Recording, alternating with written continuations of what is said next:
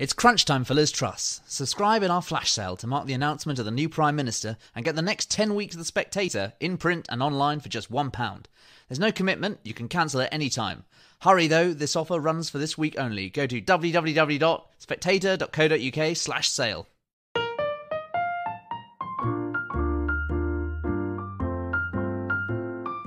Hello and welcome to the Spectator's Book Club podcast. I'm Sam Leith, the literary editor of The Spectator, and my guest this week is the novelist Ian McEwan, whose new book is called Lessons.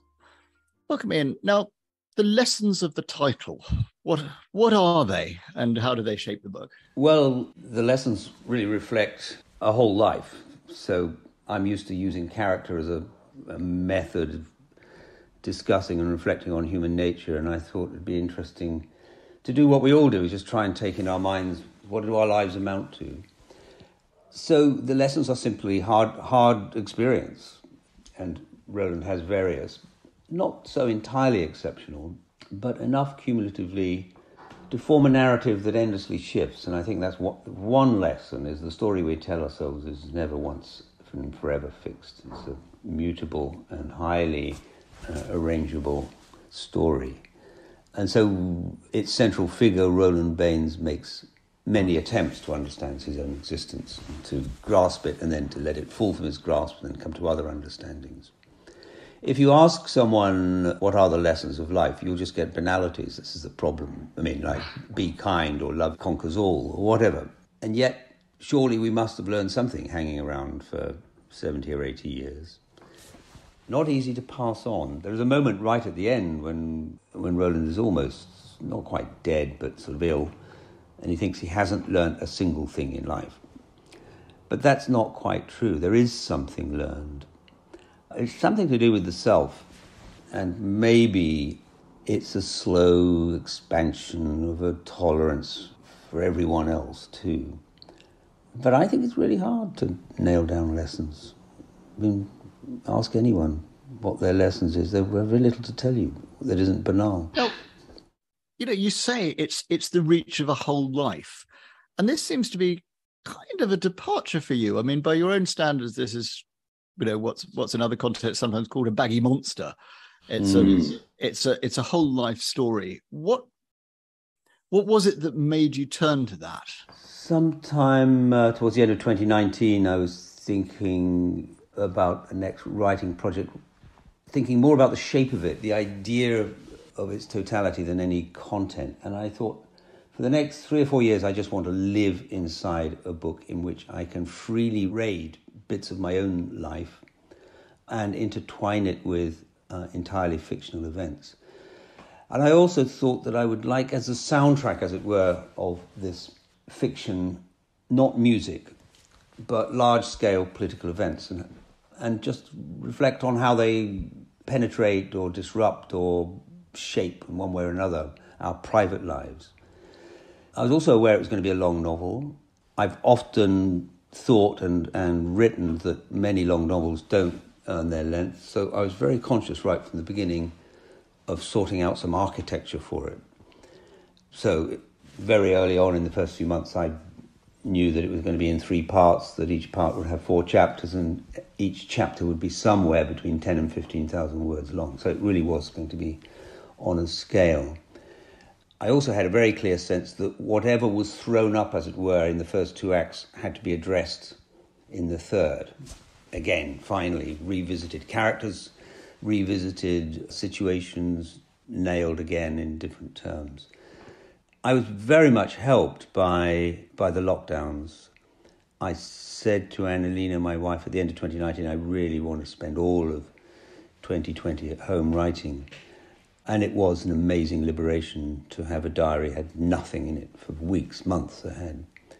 That meant seven days a week, hours and hours every day, entirely do what I'd hoped to do, which was to live inside a novel.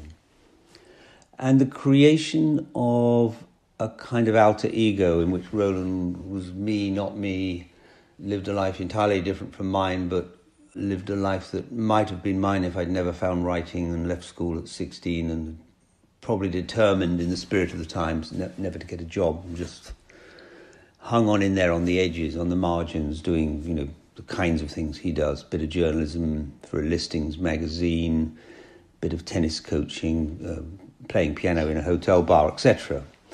The, the life lived, you know, hanging by threads. Yeah. I mean, one of the really striking things about Roland, and I don't know whether this makes him more of an alter ego or less of one for you, is he's, he's very passive. You know, in contrast to the wife who leaves him very, very early on, he's always saying, and he wants someone else to take control, both sexually and in his life. He's, he's you know, longs for things to happen to him rather than actually doing things. I mean, how much was that part of your design? What what were you getting at with that? Well, I think he's passive in the way that many of us are. Very few of us get to take the ruthless decision uh, his first wife takes by simply leaving behind a husband and baby in order to go and become a novelist, and then turns out, you know, fulfill her ambition to become a, a very significant novelist. To a very large extent, when we examine our lives, one of the first questions is how much are we in control of it, and how much of it is given over to chance. Roland, yes, there's a passive element to him, but on the other hand, in his defense, he's a man who skips out on a tertiary education, but then gives himself one by you know a very dedicated ten year application to you know, the City Lit and evening classes and the Goethe Institute and so on. And also, you know, he's prompted uh, to ferry books into East Berlin. He gets filled with guilt when the people he's ferrying them to get arrested, and he goes back to try and find them. He's active in tracking down the piano teacher who abuses him, although he leaves it 40 years. And likewise, tracking down his first wife for one last conversation. Has been very much out of his life for one day of drunken sort of exchange. So uh, not entirely passive, but I think I think he lives in um, you know her private's we. I think he lives in that middle of fortune, active in some things, passive in others, rolling along with life. But yes, when it comes to those big events in his own life, which start with for him Suez, but includes Chernobyl, and so on, uh, and especially the fall of the Berlin Wall, his sense is very much mine that we are rather like characters in the Aeneid or the Odyssey, the, the Greek gods in the form of Gorbachev, Kennedy, whatever, are shaping these events, and yet they are all too human. They have feet of clay, but we're powerless. I mean, we simply live in their, you know, un- underneath their toys. Yeah, that that sense of history impinging on it, or, or history shaping the private lives of the people who live within it. I mean, you talk about the sort of generation from which Roland and you come as having sort of, I guess, being the boomer generation, being, you know, I think there's a phrase you have, his lot lolled on history's aproned lap. Yeah. You know, there was a sense that they didn't live through as their parents' generation had the privations of the war. They weren't well, heading heading for what we're heading for now. And it, Roland worries, doesn't he, that that makes him potentially. That's why he didn't succeed as a writer, and his mother-in-law was a better writer than him. She had more subject matter, that's for sure. Although yes. he he also has to concede that her sentences, Alissa's sentences, are better than his own. Well, like most people, he's not a great writer. As for that generation, my generation, yes, I think we did loll on history's aproned lap, endlessly expanding opportunity. I was the first in, in my family not only to go to university, but to stay on at school past 16. Through the 50s and 60s, everyone was generally getting more and more prosperous. TV sets and washing machines and people buying their first houses and cars. Rock and roll and paperback books, etc., and a kind of freedom that made us, I think, looking back, I, a little too contemptuous in that those early years of our parents' generation. They had looked into the abyss, and so mowing the lawn and washing down the car on a Sunday afternoon, all the ordinary things of life were exaggeratedly precious to them and became immensely oppressive to us. So, yes, being an army kid too, the shadow of the war seemed all the more well defined and probably cast longer. But at school too, all the teachers who taught or taught us were all men entirely shaped by the war, who expected to be entering a silent class. I mean, there was no issue of discipline, as I remember. But nor did it seem oppressive, because it was just the fabric of reality. If there was a bit of commotion, it could be stilled by sarcasm, not by violence. The decision to give Roland so much of your own biography, I mean, to make, you know, he's obviously mm-hmm. an alternative character. Did that, I mean, I wonder what that, in terms of gravitational pull on the narrative, in terms of the sort of risk it might have. I mean, how, how do you negotiate that? Do you just make as free as you like with it? Well, I've always admired those writers who plunder their own lives so freely. I'd always been very much on the side of invention. I almost thought that life, drawing from life, was rather cheating. So I allowed myself the kind of luxuries that Dickens had. I mean, Dickens plundered his own childhood. How many times? Seven, eight, nine novels? Relentless. I didn't have a blacking factory to fall back on, but certain events that were formative. And I dipped in and out of it really. Very rapidly, Roland's life diverged from mine. So I gave him my childhood, especially in North Africa, my family background, definitely. The sadness in my family, the secret of a child given away, a baby on Reading Station, and the the suffering so I understood in retrospect that fell onto my mother and all that. All that was there, but at the same time, the three important women in Roland's life his first wife, Alissa, who's German, goes off to be a novelist, his second wife, Daphne, who he takes a long time to decide to marry, and crucially, Miriam Cornell, the piano teacher. They're all entirely inventions. I mean, they bear no resemblance to anyone in my life. So braiding them, it felt just like the braiding of all experiences that takes place in the, in the writing of a novel. I don't know if there were any dangers in it for me particularly. You make a point of including a disclaimer at the back saying Miriam Cornell does not exist. You know, I wasn't didn't lose my virginity from my piano teacher. Yeah, well, I was worried that I mean, in earlier drafts, the village she lives in, I changed, thinking it would be just my luck if there's a 92 year old woman who was once a piano teacher at my old school and her ah. lawyers are in touch. But by the time I got to the end, I thought all the names, village names around the place are real, and it's just crazy not to name it. So, given that you're, you know you have a quite a considerable profile and reputation, people you might get people going, well, which of this stuff's true, and start rif- rifling through it for the. Yeah, that would have definitely happened if I'd made Roland a writer a published writer, because then I've had to deal with. So by having him leave school at 16, he steers around the whole cast of my professional life and, and my existence, really. So we share no friends, really. It's interesting that you, your generation or the generation of those friends with whom you're associated, have come, come to the autobiographical novel quite late. You know, I'm thinking yeah. of Salman Rushdie's Joseph Anton and The Pregnant Widow and it's Martin true. Amis's. Well, know, Martin wrote Experience a good while back. But yes. That was yes. a straight memoir, wasn't it? Yeah, much more. But still, it used all the tools and techniques of fiction. I think you get to a certain age, you're bound to start making those long studied backward looks. It's bound to happen. I've been promising, but not very sincerely, to write a memoir for a long time. And this only partially fulfills it, so I might get back to the other stuff.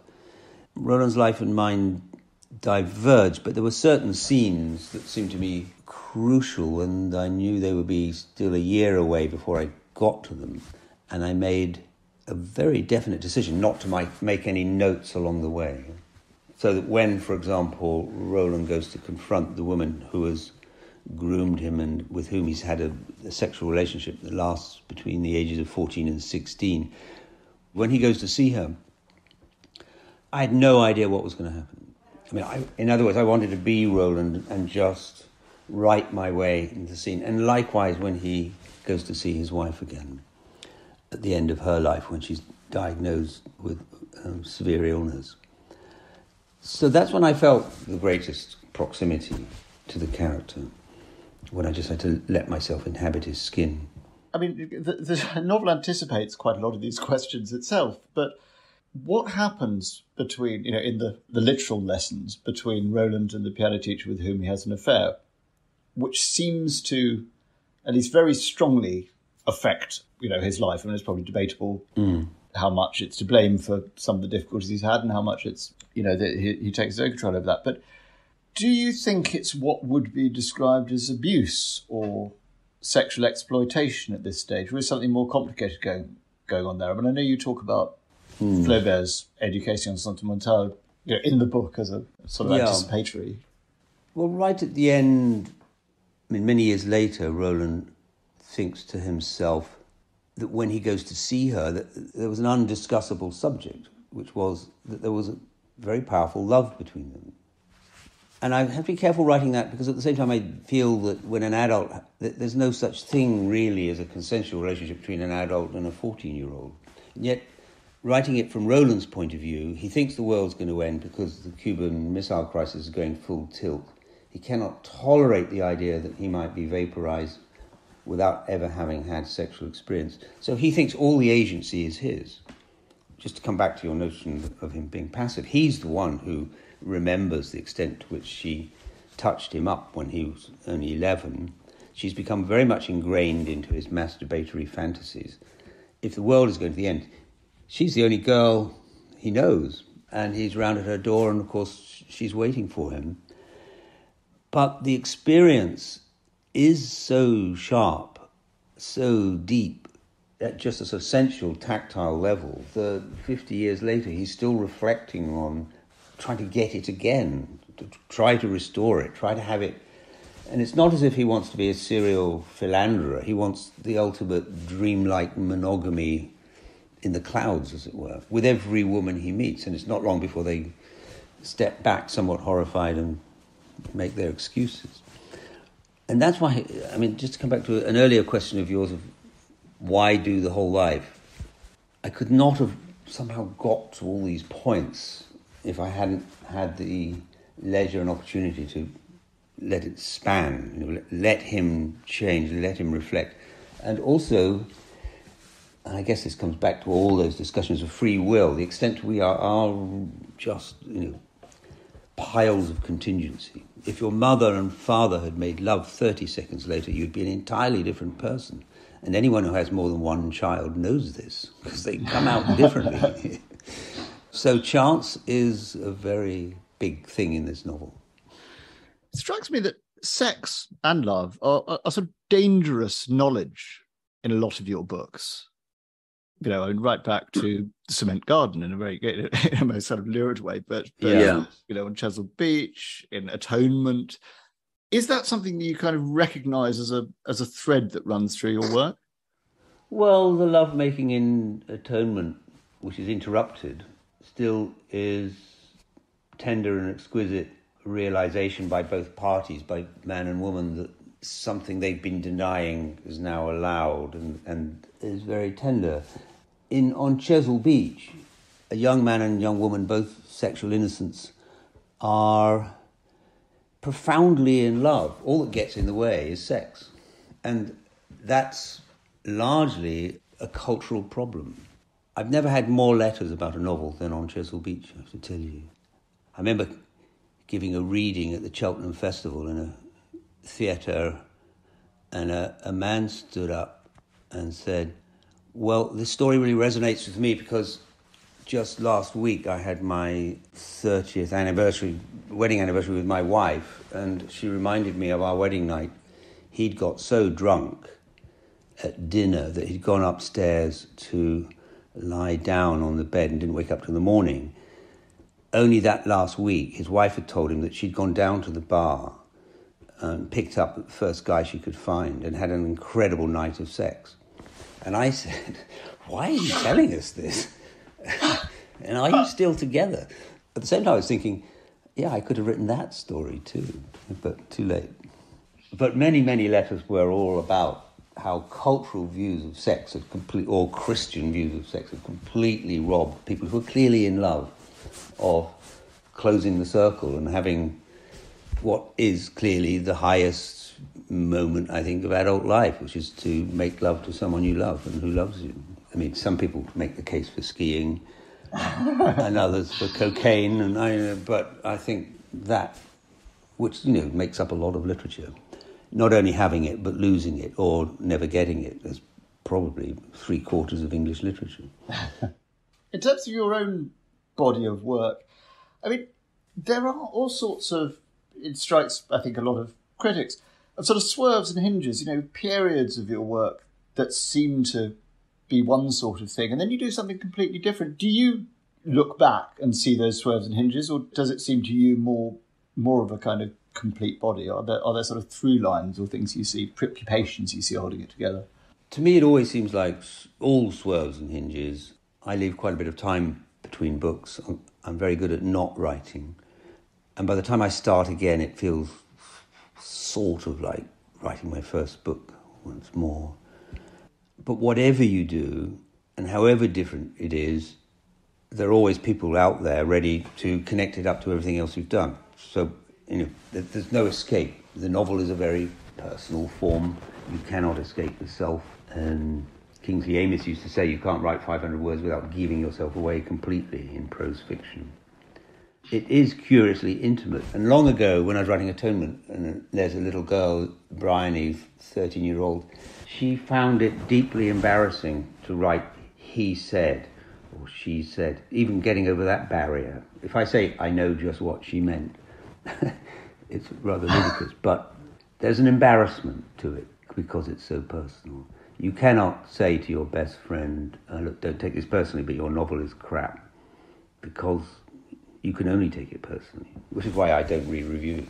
Good I mean, the question of the art being good you know, one of the themes of lessons is this question of how much, how ruthless an artist can be with their own life in order to make, you know, the perfection yeah. of the work. And Alissa does that. But you you you, you bring in subtly the sort of Robert Lowell question of the the dolphin, you know, when yeah. Robert Lowell wrote a, a I, I kind of agree with some of your characters, wonderful book of poetry in which he sort of collaged and plagiarized and altered the letters of his yeah, you know, uh, ex-wife Elizabeth Hardwick, whom he'd left yeah. to write these poems. Where do you stand yourself on the question on the dolphin question? Was that grotesquely cruel, or was that just worth it for the art? I think it's grotesquely cruel. Should never have happened, and it's a brilliant book. I mean, and we're left you can't resolve it. Some really shitty people have written wonderful books. Some people with nasty political ideas paint great paintings. So I don't think that we were ever going to resolve that. What we don't want to do is tear down all the statues, that's clear. We'd like to think that the whole moral being is involved in a book and therefore a, bad, a really bad person couldn't write a really great book. But it's, it's amazing how this conversation has gone on all my life. So the last time I had it was only 10 days ago with a German novelist who's coming to stay, Daniel Kehlmann. We, could a Nazi write a great novel? And we decided in the end that he couldn't. But I felt we were letting ourselves off the hook somewhere there because it doesn't seem completely impossible. Does making Alissa a toweringly great European writer? I mean, what made you do that? Was it was that making it easier for her to do what she did? I mean, if she'd gone off and been a failure, how would that have affected the shape of your novel? Uh, yeah, I think it would be very satisfying for Roland when he's in Berlin, the wall is falling. She's they've met in a in the rain in a little alley and just into the east. And she takes out of her bag her bound proof of her first novel, and he takes it back to his hotel. And to his horror, he thinks it's a masterpiece. So, I mean, the answer to your question is I wanted to make things as difficult as possible for Roland his fury at her leaving and his awe at what she produced and his having to acknowledge that she never could have written such a book had she stayed in their cramped little house in South London. And that ambivalence is we just has to carry it. Again, if there's a lesson in life, nothing is solved. We all hate that word, closure either you there's a massive forgetfulness in all of life's problems, or you've just carry it along with you. It just becomes part of what you have and what you have to think about. So uh, it was irresistible to make her a very important writer, um, because he would have to go on reading her all all her life, all his life. I wanted to give let Alissa give a little tutorial on how to read a novel at the end because he's finally crossly identified a character that's him because she set a scene in that in that squalid little house, but she's made that man physically abusive. So he confronts her about this and says, and I guess she was, as you picked up on, talking about my own methods. It's my right to take whatever I want from my life and do what I want with it. The character in my novel is six foot three, you're five foot eight. He has a scar on his face. I borrowed that from a Nazi friend of my father. He has a ponytail you wouldn't be seen dead in, and yet you think it's you. This is vanity. And I think we live in a time of heightened love of the subjective in fiction. We get an awful lot of novels in the first person, but I think on the reader's side, there's a pursuit of wanting to find the novel that's about you or that somehow reflects you back on yourself. Uh, I think all those readers ought to go and you know get back to Borges or Kafka and find themselves totally absent and have wonderful time free of themselves. That question of the style and the uh, you know the, the worldview of a novel. I mean, it strikes me that your work has this, as you know, as you described, there's this kind of tutorial within the novel about how to read a novel with autobiographical elements. You know, there's a very metafictional, postmodern yeah. sort of stripe in your work, or very self-conscious about what storytelling does and what its possibilities and dangers are. On the surface, your, you know, your naturalistic detail is really, really to the fore. You'll put in things like the sort of quiet closure of the rubber door on Alissa's house that seems, yeah. you know, so particular mm. as to be something that's reported rather than apparently invented. I mean, do you think of yourself as a realist writer? I think my project, and I think it's a really interesting question for, for all of us, readers and writers, but my project is to somehow have all the lessons of modernism, but all the gifts of the 19th century, of 19th century social realism, but also the elaboration of character that we got, you know, from Jane Austen right through Flaubert, Balzac, Tolstoy, and many, many others, George Eliot. Why can't we have it both ways? In other words, to be well aware of the process of what you're doing, but have all the fruits of all those techniques, which we did, you know, no writer writing today invented for himself or herself. Free indirect style, a wonderful, liberating mode of the third person allowing you to zoom in and out, color the world with a person's thoughts. An incredibly sophisticated device that I, I now, I noticed years ago when I was reading to my children bedtime. Children know how to, they understand it. I mean, they'd be baffled by the term free indirect style, but they know what it what it's about, how it works, how you can move in and out of. Oh yeah, it's it's extraordinary. I remember when I was reading my five-year-old Horrid Henry. He said, oh, "That's what Henry's thinking, not what I said, yes, that's the free and direct style you've identified. Well, that's amazing. I mean, maybe he should be growing up to be a literary critic because usually children are operating it, but they don't. They just inhabit it. How clever of him to step outside it and notice it. Which reminds me that when I was reading a Beatrix Potter, which I loathe, by the way, Beatrix Potter stories, but anyway, children love them, so I read them at bedtime. And in uh, the tale of Peter Rabbit and Benjamin Bunny, who go and steal carrots from Mr. McGregor's garden, when they get back to his cousin's place, Benjamin Bunny gets a sound beating from his dad. And my son Will suddenly stopped me and gripped my arm and said, But why is he hitting him? He's his dad. And I realized that being born 50 years earlier, you, couldn't, you would not have seen any paradox there. But I was very touched by that paradox. Yes, that's a move in the right direction. Anyway, it's helpful to be able to use a detail like the sucking sound of a pneumatic door just to remind the reader of the solid world. And you don't have to go into Balzacian mode and explain and describe the whole street or the whole house or what someone's wearing all the time. Although I've been reading La Cousine Bette recently, and it's far more sophisticated than I ever remembered.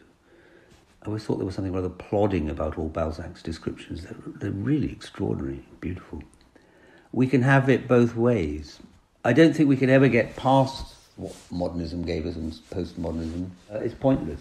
But Virginia Woolf was so, so wrong when she pronounced that character was dead. I think novels without characters are just useless. And I think Robbe-Grillet gave a lifetime to demonstrate that. Um. Well, you're also, you know, realism and reality connecting. You're you're a novelist who's deeply interested in science, and science comes in, eh, you know, here and there in this book, and was sort of slightly haunted by the multiple worlds.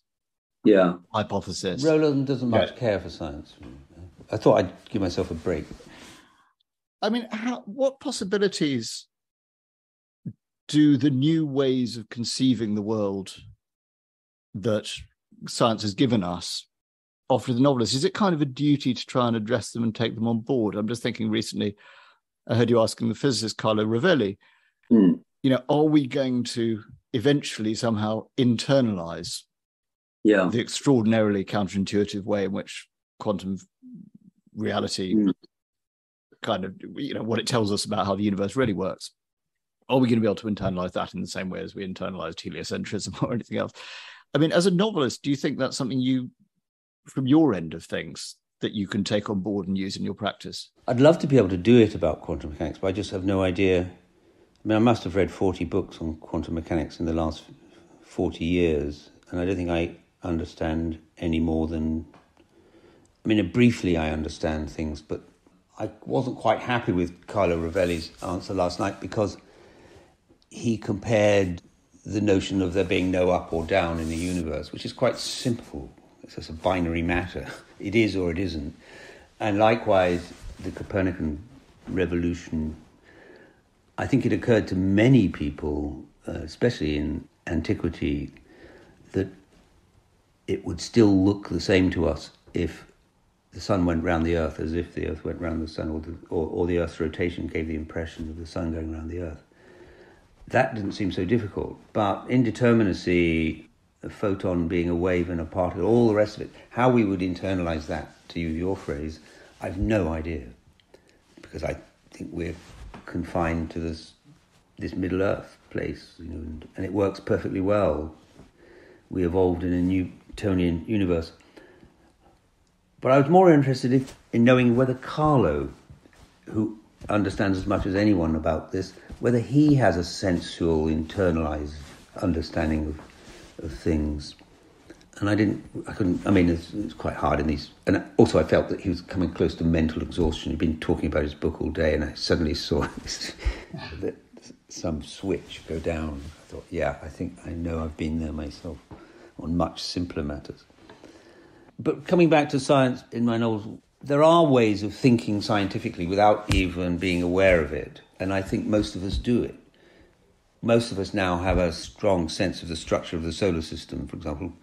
Most of us, who at least have some education, are aware that we evolve and weren't made in six days. Most people will tell you how far the Earth is from the Sun. And also, we know that the very big and the very small have at the very least, most of us know that it's crazy out there, that it's not like common sense. Hmm. So our worldviews are scientific, I mean, on the whole, unless you're some sort of Baptist or whatever. And I think the science in my book is simply an extension of my interest in realism. If you want to describe and understand the world, we no longer ask a priest. But also, I rather love writing about other people's expertise. So occasionally that's a scientist, but sometimes you know, it could be a a high court judge or a neurosurgeon or whatever. I mean, at least technologically, maybe rather than on the theoretical side. You know, one of the received wisdoms of the first half of the 20th century is that that technological change changed the way we saw the world and kind of forced us into modernism. And do you think that the digital revolution is going to change the shape of the novel substantially, or does this modified mm-hmm. legacy of 19th century bourgeois realism still work? I think the realism is bound to have to continue, but it might be describing fundamentally different things. And I used to be very skeptical about whether the digital age was changing us, but I'm beginning to think when we've lived with it for a while, much longer than the odd 30 years that we've had, that it will change us, that the metaverse that's coming that might be so addictive and hard to live without. I, I just find in my own, I held out, for example, against a smartphone, an iPhone, for years because I was aware that people were never putting them down. But then when I got one, I was never putting it down and lived by it and every spare minute looking at something or other. And I think it might have robbed us of the art of solitude. We're so connected now. And it takes a deliberate effort, I think, to turn off. And I, the example I always give is at the luggage carousel, people have been without the internet for 90 minutes. While you're waiting that 20 minutes for your luggage to arrive, in the past, what would you do? I mean, a few dedicated people would read a book, but most people drift off in their thoughts and memories. Now we just look to see the 40 emails or WhatsApps that have come in while we've been up in the air and not allowed. And by the way, pretty soon, well, it's already happened. You won't have that uh, solitude above the clouds. People will be constantly on their phones. But the novel can describe that. A lovely novel by a Dutch writer, Dutch woman. We had to take down this post. Have you come across it? I haven't. I haven't read it, but I've read about it. The subject matter is really interesting. These kids working in a for a tech company, seeing the absolutely abysmally worst side of human nature, and it drives them all nuts. I mean, as a microcosm for all of us, I thought it was rather rather creepy but convincing.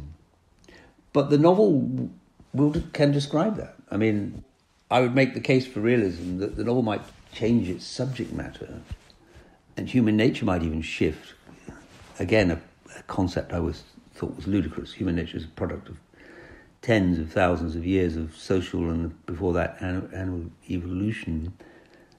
But having having a device, a literary device that can give us the physical world and human subjectivity is, is invaluable. And I, I don't get it from movies and I don't get it from theatre. Maybe I'll get it from some extraordinary variant of virtual reality. But virtual reality or, or games are still locked into endless violence at the moment. It's just like they're all written by 11 year olds and it's about zapping people with guns and things. I'm waiting, and people keep telling me, oh, but it's come, it's arrived, and I go and look and it's not. I'm waiting for something that's got the moral complexity of a Jane Austen or of which you are a part. You fall in love with this girl, uh, you get her pregnant, her father's a monster. I mean, you know, you could be there with options. And that will be irresistible. But it will be a form of, it will, it will have to be written.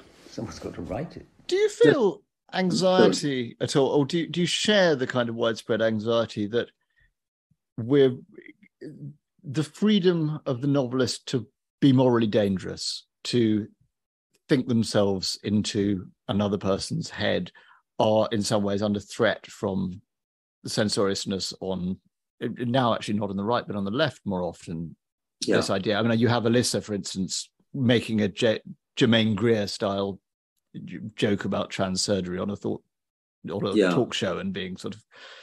Yeah. Is that that sense that there's a chill on on the freedom of the imagination? Is that something that concerns you? Well, it, it certainly doesn't limit me, but it really concerns me, and I think it's generational. I had a long discussion with Timothy Garton Ash a few months ago, and he said, "Yeah, okay, generational, but let's pin down the age. And we finally agreed 35. And of course, there's a bit of blurring around it. But 35 is the upper threshold of the generation?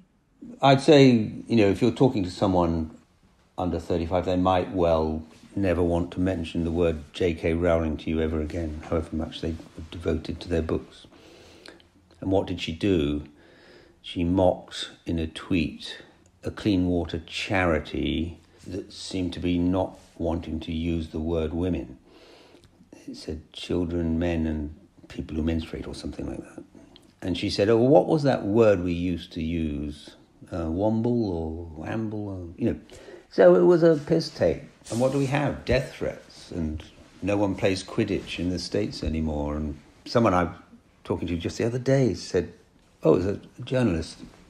saying that his 15 year old daughter, who, had read all of the Harry Potter novels and seen all of the movies now, and she's 15, she loathes J.K. Rowling for all the terrible things she did.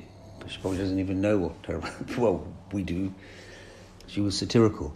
So, yeah, Alissa, I associate with the generation of Germaine Greer, skeptical, second wave feminists who find themselves constantly on Newsnight battling with some trans activist. And I'm always amazed by it because it sort of makes my heart race. There's something so unexpected about it. Who would have guessed that that generation, well, it's actually my generation, of women would have their backs to the wall, as it were, being accused of being the orthodoxy that must be overthrown. It's really odd. And the other thing I found chilling was a young novelist on the radio a few months ago saying he was saying he could not write about male desire. He could see no way to do it. What, without being guilty of the male gaze? That kind of stuff. I think male gaze is old hat now. It's, it's something, but yeah, without objectifying and humbling and humiliating the object of his gaze. I don't know. I like to think this is just a phase we're going through that sometimes I'm at dinner with friends, completely relaxed, and then I think, but wait a minute, my married friends, they're both men. I'm doing something that 30, 40 years ago would have been impossible, completely impossible. And how delightful. But it's gone beyond that. We just take it for granted now. And in the wake of that, have become all kinds of other demands for other kinds of orientations. And one should think, well, take a Chairman Mao view, let a hundred flowers blossom. But there's this other element, which is the angry, humorless bit of it that I think might what just be transitional. You know, we're just so there are people who don't want to be identified by any gender. I don't have any trouble with that. I mean, so maybe it's just a humanist project that is stumbling towards realization, and we've all got a bit ill tempered about it. But that's my best take on it. Why do you think it's happening? You think? Well, I think that I think we're going through a kind of sexual revolution, but it's it's not focused. It's spread across all kinds of things. The other thing I think is is an amazing gift to the right, but not only to the right. I, I listened to an hour of uh, stand-up comedy. I think the older we get, it's harder to make have other people make you laugh, except in conversation. But someone whose job it is to make you laugh, they just don't seem to do it for me anymore. Anyway, in that spirit of wanting to be made to laugh, I noticed that comedian after comedian was mocking this whole business and doing it totally fearlessly and funnily. And of course, Ricky Gervais does it spectacularly well. You know, no one's killed him, thank God. So I don't know. I, do we do we need to be depressed about it? No. I I do. I'd feel depressed about it if I really thought that a young male writer could not write about desire. I mean, you might want to bring all kinds of new and modern sensibilities to it. Personally, I think if you're going to write about sex, you've also got to write about emotions. I mean, it's, it, there's never just sex. There's all kinds of other things and contingencies surrounding any lovemaking and massive cultural determinants as well and you need to you know you need to be aware of all those things even if you're not writing it. But it seems to me a terrible muffling, especially in a time when freedom of speech is you know around the world is shrinking. That the West should volunteer to start limiting its speech. Think is really a problem. Well, this the stabbing of Salman Rushdie, obviously, which was extraordinarily sort of shocking. I mean, did you feel that felt almost like a sort of postcard from a previous era of the suppression of freedom of speech. I don't know. You you know Rushdie, presumably. Are you in touch? Have you heard from yeah. him or spoken to him? No, I'm, I count myself as a close friend. I wrote a bit of. I mean, I had COVID at the time, so it came through as a double shock. Well, my skin was thinner, as it were, and I only had time to write a very short piece for the Times. And what I said was that there, there was something nastily consonant with the Times, the attack now not only in the States where lonely, inadequate men went into school to murder children, but everywhere the ease with which people issue death threats. And there's something nastily consonant about this attack on Salman.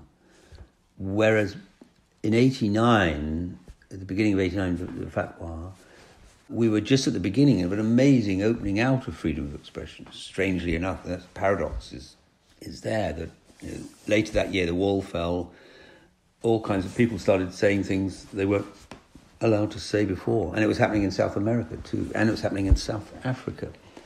This seemed particularly nasty, not only because the attack itself so savage, so hateful, so hate filled, but because it, it seemed more emblematic of the kind of place the United States is becoming, and maybe you know what we're all having to live with. When come back to J.K. Rowling, death threats are almost a kind of the norm. When she said she was sickened by the attack on Salman, she immediately got a death threat next day. So yeah. Well, just end with there is a line in the book to try and move off from. I was going to say try and move off from something that's that's rather depressing, but there's a sort of wry line in the book where you're you're transcribing a whole series of of the opinions. Oh yeah, um, promulgating at dinner parties, and somebody said, quotes, I think it's the book Booker shortlist for that year, and says, you know, comfortable white men of a certain age, their time is up. Do you feel your back's against the wall in literary terms as a comfortable white man of a certain age, for the sort who might have been in that group? Yeah, but we had a good time, and I don't think I feel any any great loss or sadness about it. I mean, when we were running around in London in the seventies, it was very boy filled. We had the time of our lives. I've won lots of prizes. Uh, I don't need any more. And yeah, let let as many other voices in as possible. I feel fine about it. I mean, I've had a we had a good go. How could we possibly complain? it's ridiculous. Uh, so, as long as I'm not constrained in what I want to imagine and write, then I feel fine about it. Ian McEwan, thank you very much indeed. Thank you, Sam.